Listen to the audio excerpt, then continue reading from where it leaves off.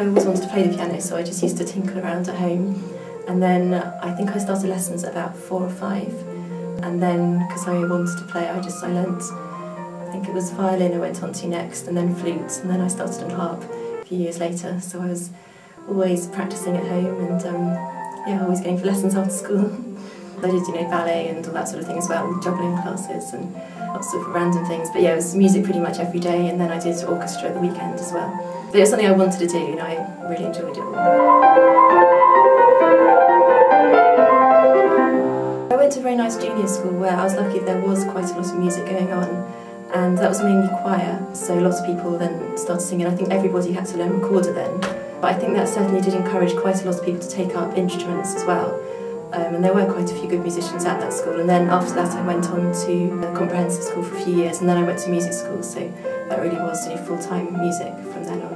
When you get to the age of sort of 13, 14, and you realise that you're not going to be a brilliant musician, and you've got other projects, you know, other things to do, and you've got more schoolwork, and and there just isn't the time maybe to do that as well. In fact, I teach now, and I've got a lot of children that are approaching that sort of age, and I'm seeing the signs that quite a few of them are going to start dropping out because you know, some of them prefer ballet, so they're going to maybe spend more of their time doing that after school, or some of them are just more academic minded and they're going to apply themselves that way instead. I think there are a lot of people learning now, and I know there's certainly lots of schemes going on these days where they send people into schools to do workshops to you know, spark people's imagination and get them learning music. I know that schools now don't always have music lessons, which probably makes it more difficult for children to realise they want to learn.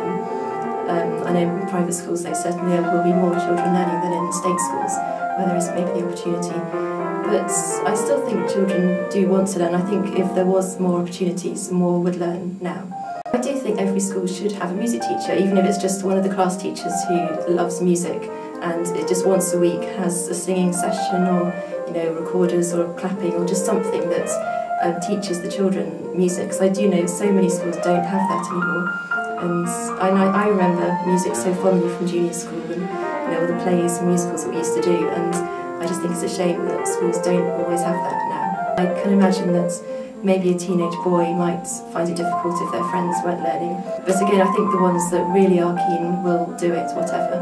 And by that age, the ones that don't want to won't do it. So, I mean, in the end, there isn't actually that many jobs for musicians anyway, but we need people to learn to be good audiences, you know, that's dying out and we do need people that appreciate music. So sort of an early um, understanding of it and enjoyment of it will really help towards that.